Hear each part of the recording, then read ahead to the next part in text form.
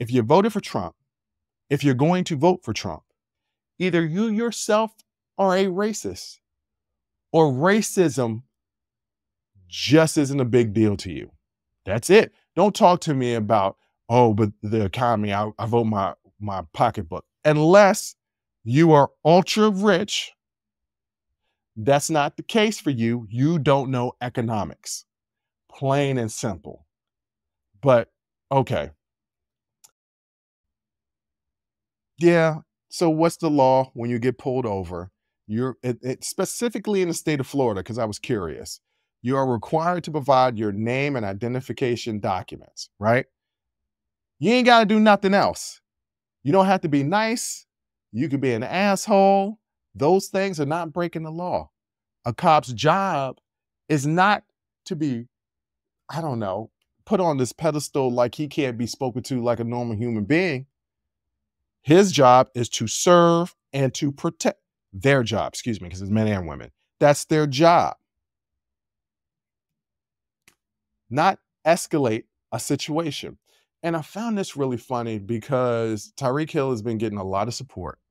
And that's a beautiful thing because he was, it was a wrong situation. Was he speeding? Yes. Give him his ticket and let him go on about his job. Okay. There also is an aspect of he was speeding. He's a black man in a $200,000 car that's going to draw you attention. Cops are on the lookout because stereotyping, right? Which shouldn't be the case because it's Miami, but they're stereotyping. But he's been getting a lot of support. And I think that's beautiful, right? That is beautiful that we are getting to the point where even though you have certain segments of the population that are going to always defend the police, no matter what the situation, there are people out there still defending the police over George Floyd, over Breonna Taylor. I'm going to get to that in a minute. But there are always going to be those people. You can't you can't convince those people. And there's no getting through to them until something bad happens to them and then their beliefs are shaken because they didn't expect it to happen to them. They expected to happen to those people, but not them. But as I was watching the support for Tyreek Hill, something came flooding to my memory, and it was Colin Kaepernick. Some of y'all may not remember Colin Kaepernick because it was about eight years ago. But you know me, I'm going to give you a brief history on Colin Kaepernick and in, and why it's so important to this story. Colin Kaepernick had a stance, and his stance was centered around protesting racial injustice and police brutality. He began de- kneeling during the national anthem in 2016 to draw attention to these issues. Kaepernick's actions were a form of peaceful protest aimed at highlighting systemic problems within law enforcement and advocating for significant reforms. Now, there's a lot of people that are going to be saying you support the military.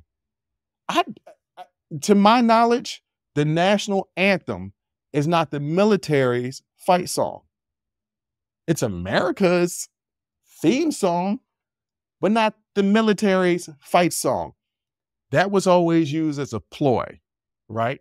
Don't pay attention to what he's saying. Don't pay attention to what he's bringing attention to.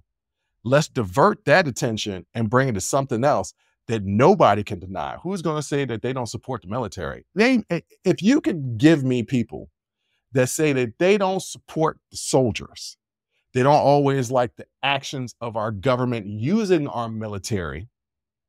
They don't always like the fact that that budget for the military is ridiculous and some of that money could be used elsewhere. I am a person that supports our soldiers, that actually supports the military, that supports the vets, not the corporations that are bilking us and charging us because we're buying their weapons. That's not the military. The military is are the people. And if you support the military, then you would be a fan of Jon Stewart and his fight for veterans' rights, because that's supporting the military. And here's the crazy thing Colin Kaepernick said that he wanted to protest during the national anthem. He talked to a to a soldier, somebody that was in the military and an NFL player. And the NFL player said, "Hey, look, man, I don't I don't really like this, but if you want to show respect to us, you at least got to take a knee. That's how you show respect to us." But once again, white fear. A black man was taking a stance on racial injustices, and he was blackballed by it. People even said when he couldn't get another quarterbacking job that he wasn't good enough. This was a man two seasons before that led his team to a Super Bowl game.